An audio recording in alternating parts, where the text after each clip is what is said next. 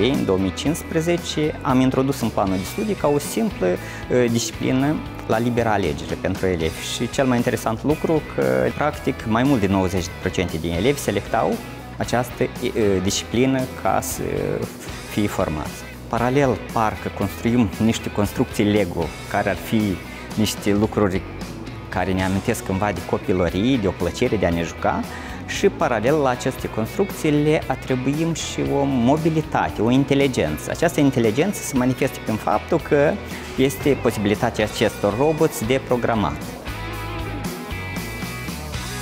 Robotica dezvoltă abilități de comunicare, respect de sine, responsabilitatea în primul rând și acceptarea părerii colegului. Învață că la robotică poți să greșești și oricând poți să o iei de la început. Învață că orice problemă are mai multe căi de rezolvare. Asta îi face să se unească în jurul unui subiect.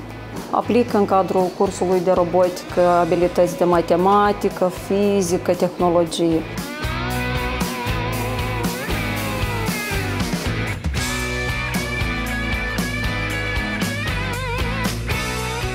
Prima mea experiență în uh, studierea roboticii am început-o la vârsta de 8 ani, pentru că este o disciplină nouă și îmi permite să-mi dezvolt uh, creativitatea și abilitățile de comunicare.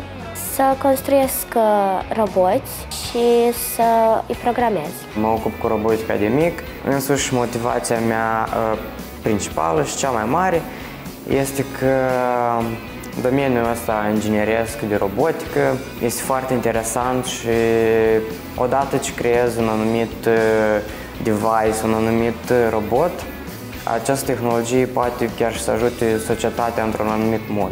Studiez deja aproape de 5 ani, tot, tot de la prima zi, tot concursul, pentru că eu de mic încep cu Lego să mă joc. Iar am interesat la ce poate roboțelul, la ce, ce posibilități are, adică de la început cu steargă podeaua până la sortarea anumitor piese, ori să vorbească cu tine, să rezolvă anumite ecuații, ori să poată să facă o anumită acțiune care omul simplu nu poate să facă.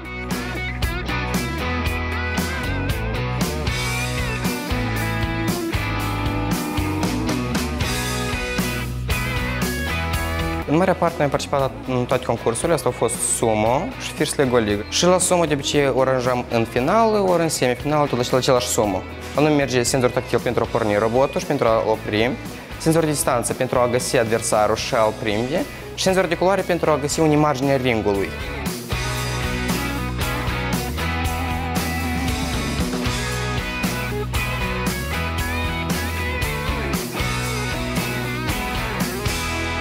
În viitor aș putea dezvolta o carieră în IT. A început mai tare să-mi placă robotica, început să studiez mai avansat. Am dat documente la tot la Universitatea Tehnică Moldova, la robototehnică și microelectronică. Dacă îți alegi acest domeniu, 100 de procente că o să ai un job la care să lucrezi, adică în viitor toți oamenii o să facă roboți.